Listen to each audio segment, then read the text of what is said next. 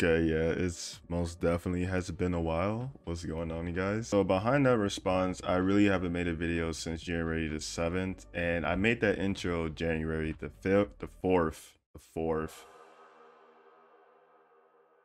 But let's hop right back into the video. Okay, so you guys pretty much want to learn how to do time remap. Time remap is very, very simple and easy to do. All you have to do is just go ahead and do Control Alt T. You're going to be doing your basic you know, keyframe mapping right now. So I'm gonna skip this part or you guys can skip it, but I'm pretty much just gonna fast forward through this. So after you get done placing all your keyframes together, you wanna go ahead and pre-compose, press this circle, but do not check this box. I'm gonna go ahead and check it, press okay. And now what you wanna go ahead and do is type in Twixtor Now for this is simple, I'm just leaving up on the screen, 23.976. You wanna go ahead and copy what I am doing.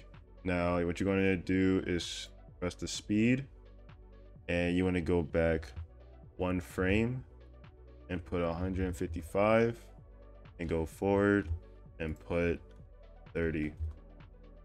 Now, once you have done that, you want to go ahead and pre-compose again. Keep the box unchecked, press OK. So now what you want to go ahead and do is go to any your clip and press a keyframe. Also, you want to do Control Alt T uh, to open up the time remap. And what you want to go ahead and do is just press control and drag the thing all the way to the clip, all the way to the end of this like moving clip. And now what you want to go ahead and do is pretty much keyframe one part of, you know, the clip and you want to go ahead and move a little forward. This is the part when you're about to time remap or do velocity. I'm proud of. All right, so what you guys want to do now is do Control Shift D to cut your oh, not the music, but cut your clip. And now what you want to go ahead and do is just drag and press F9. You want to go into graph. And now here is what it will look like. All right, so this is pretty much the basic. You could do whatever velocity or time remap graph you want to do, but this is pretty much how I do mines.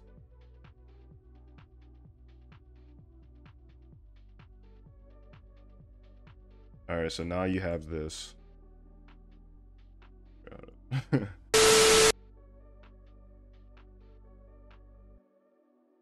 Alright, so here's where you have to mess around with the graph because as you can see, it's freezing in the middle. So what I'll do, if I see something like this, I'll bring it down a bit and then I'll continue on graphing it.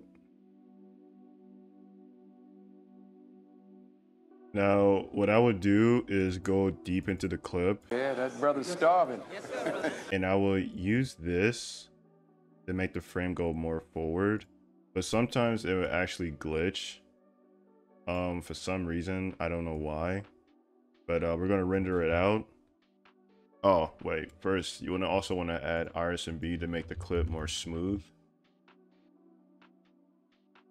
I'm gonna put a hundred.